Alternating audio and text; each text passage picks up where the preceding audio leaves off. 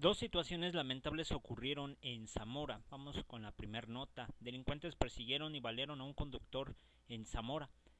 Llega herido a protección civil. Según la información de la voz de Michoacán, esto sucedió la tarde del viernes en la calle Carlos A. Madrazo, casi esquina con Delicias de la colonia Legidal.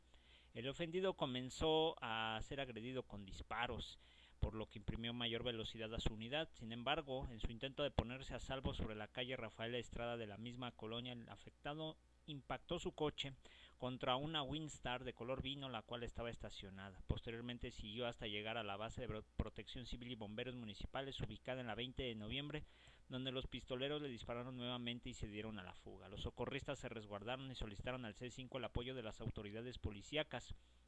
Arribando, los llamados elementos de la Municipal y Guardia Civil quienes aseguraron el sitio. Los paramédicos auxiliaron a este hombre de 41 años vecino de Ejidal Norte, el cual fue canalizado a un nosocomio para su adecuada atención médica, quedando con custodia policial. Autoridades de la llamada Fiscalía acudieron a ambos lugares donde tras procesar la escena del crimen embalaron 15 casquillos percutidos 9 milímetros.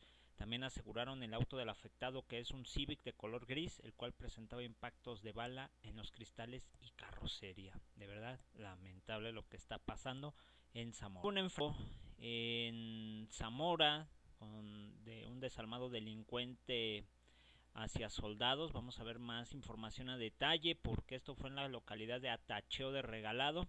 El pasado viernes se registró un enfrentamiento entre personal de la Sedena y presuntos integrantes de un grupo delictivo que se presume podría ser los Viagras, dejando como saldo un presunto agresor muerto. Además, se aseguró una camioneta y dos armas largas. Datos obtenidos a través de la voz de Michoacán.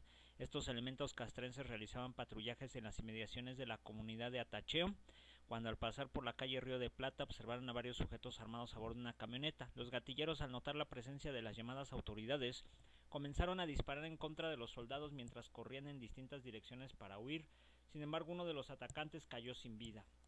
El lugar fue asegurado y al revisar la camioneta abandonada por maleantes, una de la marca conocida, de doble cabina de color blanco fueron localizadas dos armas. Más tarde llegó personal de la fiscalía que para tras realizar, perdón, las respectivas actuaciones iniciar la carpeta de investigación.